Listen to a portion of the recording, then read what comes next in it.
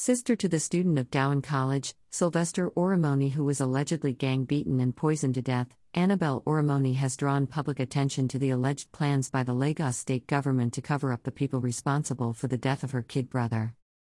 Annabel Oromoni, in a tweet yesterday while reacting to media statement credited to the Commissioner of Police that the two autopsy reports conducted in Delta State and Lagos State did not establish that Sylvester Oromoni was murdered, Annabel asked the state government to make public the autopsy report conducted in Lagos. Autopsy conducted in Delta State had been made public, and the report indicated that Sylvester Oromoni was gruesomely and heartlessly murdered.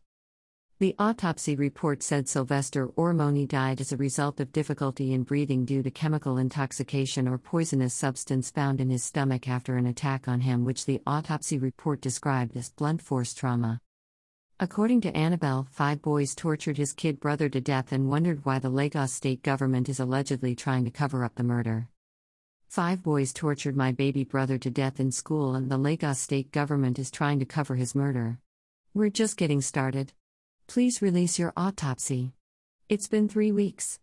This case isn't going anywhere. Bullying is an international problem, Annabel said. Responding to a tweet on why the family celebrated the posthumous birthday of Sylvester Oromoni, Annabel said thus. Photo grid shows screenshots of Annabel Oromoni tweets. It's a family tradition to celebrate his birthday every year because he's the last born of 10 kids and the only child my mom did a C section for. He loved his birthdays. We weren't going to forfeit it for a fight we know is a marathon, but we never stopped grieving or fighting. Kindly support our vision of building a community of 1 million pen soldiers whose successes will be judged based on positive development in the society. Dowen College, Lagos State Government trying to cover up Sylvester Oromoni's murder, Sister January 3, 2022. Sister to the student of Dowen College, Sylvester Oromoni, who was allegedly gang beaten and poisoned to death, Annabel Oromoni, Mabra Estate, Lagos CP Hakeem Odumosu has no respect for rule of law, human rights, Activist Kola Ekpeyi January 3, 2022. Human rights activist and head of Talakawa's parliament, Kola Ekpeyi has accused the Lagos State Commissioner of Police, Hakeem Odumosu, IPOB to force schools to stop reciting Nigerian national anthems January 2, 2022.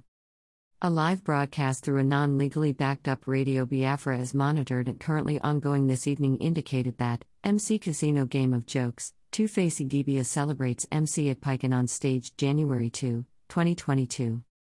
It was a fun filled moments to remember between yesterday and today early morning when global music icon, Innocent Idibia, Dowen College, Sylvester Oromoni injured, poisoned after attack, autopsy January 2, 2022. Autopsy on the body of the student of Dowen College in Lagos, Sylvester Oromoni who was allegedly gang beaten by